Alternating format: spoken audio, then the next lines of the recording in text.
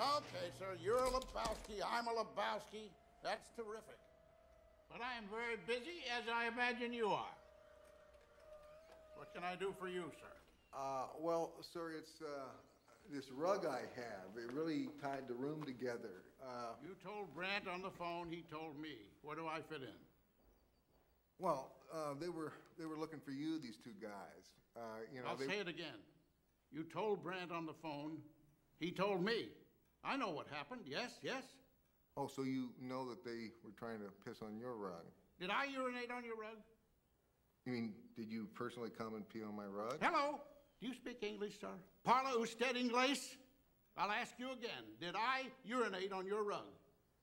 No, like I said, woo or peed on my rug. I just want to understand this, sir.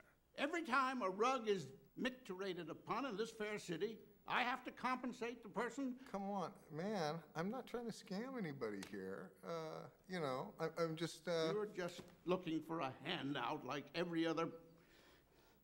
Are you employed, Mr. Lebowski? Well, wait, wait, let me, let me explain something to you. Um, I am not Mr. Lebowski. You're Mr. Lebowski. I'm the dude.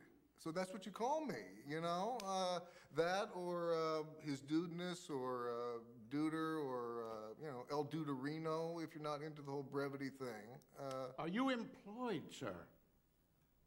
employed? You don't go out looking for a job dressed like that, do you? On a weekday? Is this a. What day is this? Well, I do work, sir.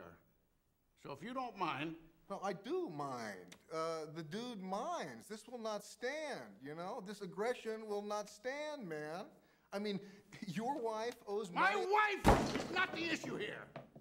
I hope that someday my wife will learn to live on her allowance, which is ample. But if she does not, that is her problem, not mine. Just as the rug is your problem. Just as every bum's lot in life is his own responsibility, regardless of who he chooses to blame. I didn't blame anyone for the loss of my legs. Some Chinaman took them from me in Korea, but I went out and achieved anyway. I cannot solve your problem, sir. Only you can. Oh, fuck it. Oh, fuck it. Yes, that's your answer. That's your answer to everything. Tattoo it on your forehead. Your revolution is over, Mr. Lebowski. Condolences. The bomb's lost. My advice to you is to do what your parents did.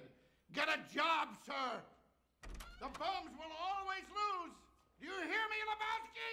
The bums will always lose. How was your meeting, Mr. Lebowski?